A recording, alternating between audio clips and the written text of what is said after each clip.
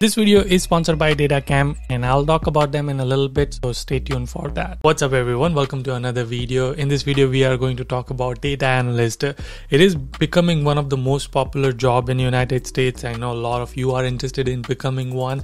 So in this video, we are going to answer very specific question and not just from me, but from the industry people who are working as a real data analyst. Let's get started.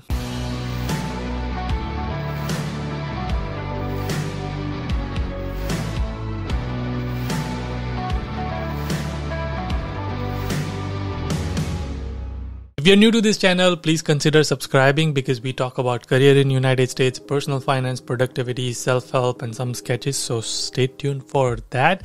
What I've done in this video is something really interesting. I've asked three of my friends who are working as a data analyst uh, full time in United States in one of the top companies like Walmart, Microsoft, Amazon so they decided to join this video. All of your question which you keep asking me about data analyst and I know that a lot of you are wanting to understand what does data analyst really do in the industry. So I took your question and I asked them who are now working as a data analyst. So hopefully this will be very interesting and helpful and valuable. Let me introduce you to the all the three guests which we are having in today's episode. Number one is Souparno who is working as a data analyst manager for Walmart. Number two is Hani Patel, who's working as a data analyst for several companies, Microsoft. Now she's working for some other company. She also had Cisco, I think. And number third is Raghu, who's working as a data analyst for Amazon. So all three people, data real data analyst, and we're going to get some industry specific questions and also some of the top companies in the world. So very excited. Here's the first question I asked them What is the most common skill they use in their day-to-day life. Uh, we've heard a lot we've seen a lot of videos on data analysts but i wanted to know what do they use in their day-to-day life uh, as a data analyst? Here's what they said. Yeah so uh, first and foremost and i this is a top top of the table by a long shot is sql. I mean any sort of sql my mysql sql or whatever it may be that is like the first and foremost. You need to know sql otherwise no data job is is not do, uh, do, doable without without sql. I would say SQL, 100%. I use that every day, all day. Uh, Excel. And then they start shifting towards automations and everything. So SQL and Python and all these things will come. They, these will definitely come. I love the consistency that SQL is definitely one of the most popular skill to become a data analyst. Uh, there's also another aspect of it, which is the data visualization. Here's what they said about that. Secondly, would be any sort of data visualization tool like uh, Power BI, Tableau, Looker. I mean, all of there are different ones, but all of them mostly run in the same sort of feature. You need to know where to use bar graphs, where to use pie chart, and those kind of things. Power BI, any kind of data visualization tools. So Power BI, Tableau depends on what organization you're going for. Uh, they use different tools, but Power BI, Tableau, Looker are um, popular data visualization tools. They are so there you have it. Those are the most important skills to become a data analyst. And talking about skills, that's where our sponsor come into the picture. DataCamp, who's the sponsor of the video. Thank you for sponsoring this video. DataCamp is an online teaching platform where they have several of courses where they teach you everything about data and pretty much to anybody and everyone. Like I mentioned, they have several courses to learn data. They could be data science, that could be data engineer, that could be data analyst. You could learn Python, R, SQL, Excel, so many things. So let's say what if you like what if you don't know what you want to learn, eh, but you know that you want to become a data analyst. That's where DataCamp is something amazing feature I love is that their track feature where you can say that I you can either track it through your skills or through your career. You can say I want to become a data analyst. Show me all the courses which I need to take to become a data analyst and they will show you all the courses you need to take to become a data analyst. Or you can say like now that you know that you have to learn some form of Tableau or you have to learn SQL. You can say I want to learn SQL and you can have all the courses lined up for SQL amazing feature. Also, they don't only provide just courses to learn, they also have sections for projects and practices. In future questions, which I asked to real data analysts, they will say that build your profile, work on the projects. How do you know what projects to work on? That's where this feature really comes into handy because you they have list of projects you can start and there, there are some projects which have guides on it so it will take you one by one step or the other and you can build a project and that will help you build a portfolio I highly, highly recommend you use my link to go and subscribe to the data camp. Uh, basically, anything you want to learn, the first chapter of any course will be free, and after that, you can decide if you really want to subscribe. I highly recommend you to subscribe because you can invest into your future and you will learn a lot. I promise you will not be disappointed.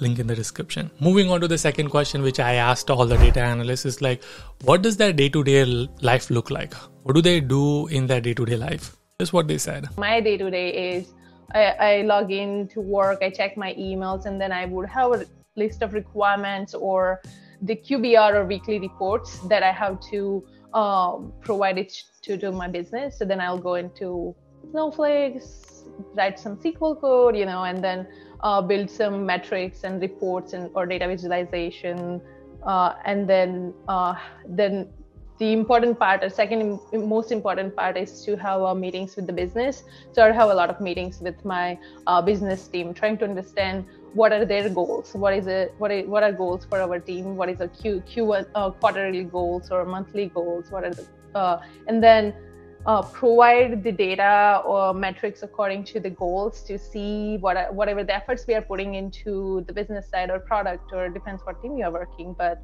uh, it is coming along from the data point of view and and sometimes you also make a decision based on what the so you as a person i need to help them to understand the data whatever they're putting in the report i'll walk through them in the meeting. This is what this is telling me. So it would be like hey you have to th- these are the open tickets um, and these are the requests from people. We have these issues. So going through those issues um, stakeholder management is part of that.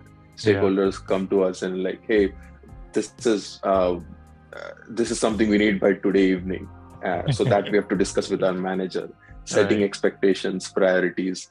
Yeah. Uh, so that, that, that, as soon as we're, we're done with that we go to our own uh, you know zone right. of doing the tickets going through the tickets uh, doing the analysis and then in my team, the, the analysts are very much uh, very much focused focused mainly on developing dashboards and developing reports for mainly for senior executives. Uh, so in my, in our team, the main goal sort of our main products are dashboards and data models. Now the dashboards are created by the uh, data analyst. So the main sort of development, main sort of job they're do work they're doing is basically creating queries and SQL queries to pull data using those data to create dashboards. And now the dashboards are sort of now they have they have to understand the sort of requirements the executives have and then convert it into technical features or technical specification. They have to understand the customer requirements and convert technical features into the, those data representations. Again it depends on company to company. Some company does afford to have a specific data analyst to just do the data analysis part but some company cannot afford and they have data engineer and data analyst as a combined role. So again it depends company to company but that's what really data analysts really do. Moving on to the third question uh, which i asked them and which i know a lot of you really want to know is like what if i don't have a work experience can i still become a data analyst like, can i still get a job as a data analyst is what they said about that. Definitely, definitely, no doubt about it. Data analyst uh, is seen as a starting career for a lot of uh, fresh graduates. So okay. definitely, fresher can get it. Yep. Definitely. Um, as I said, uh, I studied software engineering, mm-hmm. and I started as a data analyst. I had no background. Um, all I did was a project uh, in the data science. That's how I started. Of course, of course, they can. So you can equate data analyst same as a SD software. position. Yeah. It's a position. So if you can get you can get a entry level software engineering software engineering position. Similarly, you can get a entry level data analyst position. Uh, for example, if so, if you are someone new who just graduated from I don't know, B, uh, done BTech and came to US, then yes you have to build a portfolio. You have to your github profile has to be spot on. You have to have worked on multiple projects with professors and whoever you want. Build your own project so that you have something to show. And again once uh, that's the way to get the interview. Now after you get the interview it's all up to you. If you answer their questions you're good. 100% agree with them. And yes you can absolutely get a job as a data analyst even if you don't have work experience I've seen people who are coming from civil engineer, mechanical engineer, industrial engineering going into data analyst and still getting a job so I know that you can get it. You just have to work on the right path and you will be able to get it. Now that you know what skill is important, what they do day to day, what uh, you know that you can become a data analyst even without experience, you're like, okay, what do they really ask in interviews? Uh, here's what they I ask them. What is the most common interview questions? What are some of the most common interview questions? And here's what they said. So I have given uh, interviews in all of the FAANG companies except Netflix so uh, in all of in all of them, at least three first three rounds mm. is SQL, and I can I can stress more on how important SQL is. Uh, so there are three rounds of SQL uh, query questions. So they will whatever they, they, you have to technically write a type of pseudo code. They will give you a board, uh, online board. They will give you a problem, a data set. Then they will ask, oh, find this, give me this data, give me this data, this data, and you have to write down the code and Facebook, for example, in my uh, in my interview, they gave me a list, uh, a table of the advert, uh, the ads they're running for the last one year. So ad ID, ad duration, ad names, something, some, uh, then year and date, something like that. So from that data set, you have to pull in, oh, what was the highest number of ads that was seen, viewed in the last five five days or ten days, something like that. So what is the uh, lowest viewed ad what was the maximum time of ad was viewed viewed or which customer viewed which ad those kind of things so uh, functions like dense rank ranking row numbers uh, then joins these become very important so these are like you have to know this by heart and i mean you have to have to be nailed on your head so these are some of the questions you get once these technical rounds are done for the first three rounds, then you go in the final rounds. They may mostly ask about sort of your background uh, story type questions, as in behavioral, as in tell me about a time you you know use data to solve a problem. Or these the basic star star analogy like type questions.